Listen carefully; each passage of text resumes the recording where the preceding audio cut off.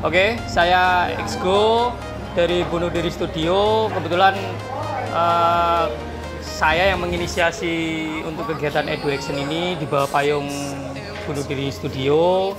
Nah untuk Edu Action ini, ini memang kegiatan kelas. Jadi tujuan kita bikin Edu Action ini gimana kita bisa berbagi ilmu khususnya di dunia kreatif dan kesenian dalam bentuk-bentuk kelas workshop.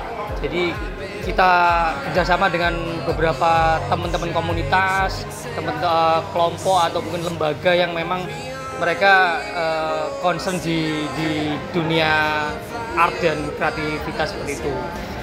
Jadi di Edu Action ini selain kita ada kelas utama berupa kelas workshop, kita juga menampilkan kelas-kelas pendukung atau kegiatan pendukung dan salah satunya seperti ini yang di belakang saya ini. Di Action kita selalu menampilkan showcase karya-karya kreatif atau exhibition berupa pameran karya-karya atau artwork dari teman-teman serikat mural sendiri atau dari komunitas yang lain. Dengan harapan kita menampilkan karya-karya seperti ini dalam bentuk exhibition atau showcase.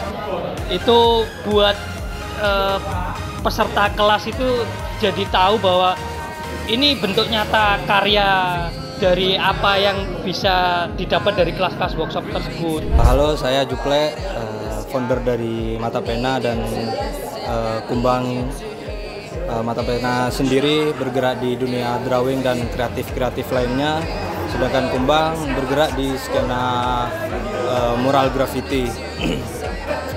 Tentang kegiatan seperti ini sebenarnya kita uh, apa ya antusias sekali uh, ketika mendapat kabar dari teman-teman Surabaya dia mengajak kerjasama dan uh, saya respon baik karena memang di Bangkalan sendiri memang butuh sebuah edukasi dan aksi itu sendiri. Berbicara tentang regenerasi itu sangat sangat perlu.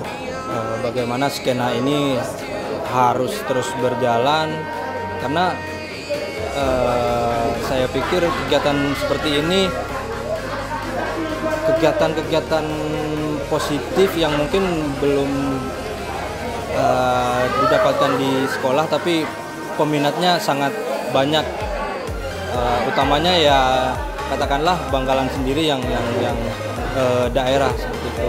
Uh, mungkin ini menjadi trigger kembali dan penghangat kembali untuk teman-teman di Bangkalan.